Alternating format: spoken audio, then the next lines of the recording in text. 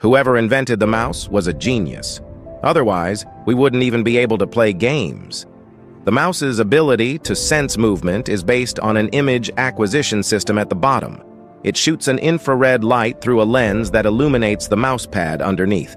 The seemingly flat mouse pad looks like a mountain. And all these images will reach the image sensor with the light.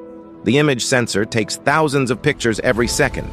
These photos are transmitted to the processor through a series of complex algorithms. The mouse knows how far we've moved in which direction. And finally, the data is sent to the computer.